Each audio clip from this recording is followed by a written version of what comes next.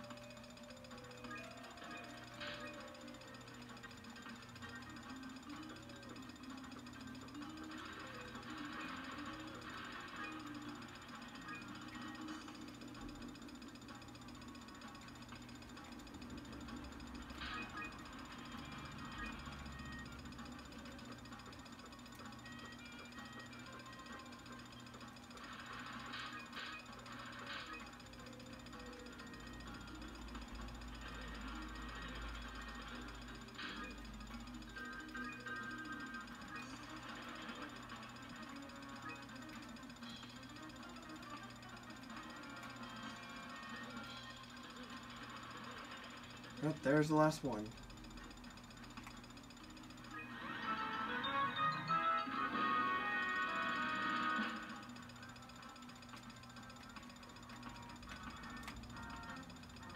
That takes care of all the secret uh, challenges in the game.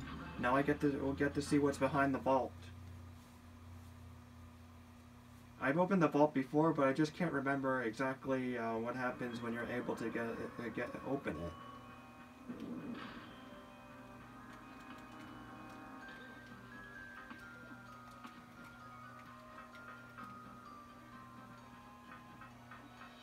Oh yeah, that's right. Change the, characters. Huh?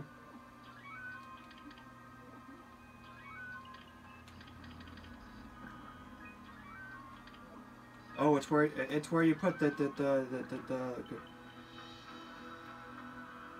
it's the codes to be able to play as different characters. Like I just um, allowed to be able to turn into Rex there.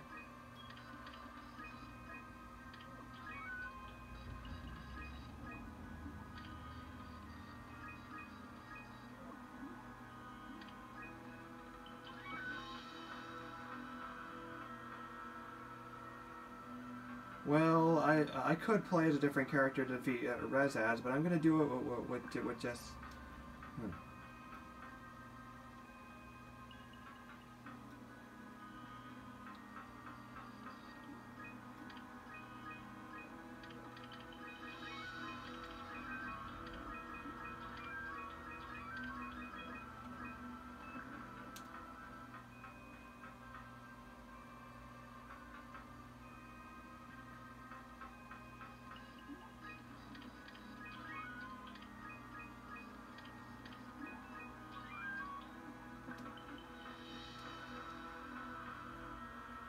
Bonus challenges uh, that with the button presses uh, um, are, are, the codes to play as uh, the different uh, characters um, in the game, um, even uh, in Mission Control.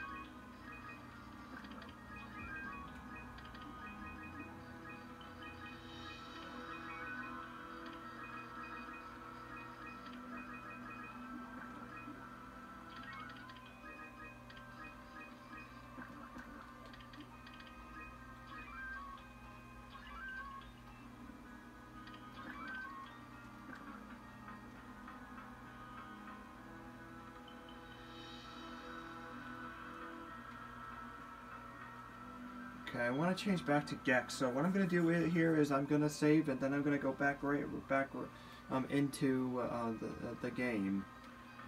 Apparently, um, I forgot that the, the button code for the codes from the bonus challenges when completing them are what's used for the vault. I'm going to just be Gex and defeat Rez, just because I would feel like it. So this part's going to be around 7 minutes for once because I apparently ended up running into a situation of trying to switch back to Gex when I was practicing, uh, refreshing my memory on how the, the, the vault, um, the machine behind the vault is all about. So uh, just hold on, uh, and I'll get back to uh, another video uh, with uh, um, with Gex back to being the one playable here.